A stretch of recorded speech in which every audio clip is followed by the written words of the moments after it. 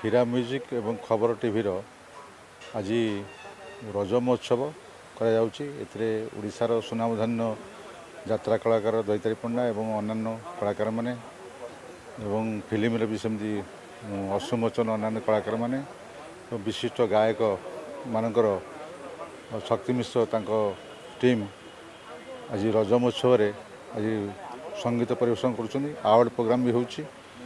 ଏଠି କିଛି ପିଠାପଣାର ବ୍ୟବସ୍ଥା ପାନର ବ୍ୟବସ୍ଥା ଏସବୁ ବନ୍ଧୁ ମିଳନ କରାଯାଉଛି ଆଉ। ସବୁ ନା ଏଇଟା ମୋର ରଜ ମହୋତ୍ସବ ପ୍ରଥମ କରି କରୁଛି। ଆଉ ଏ ବର୍ଷ ପ୍ରଥମ।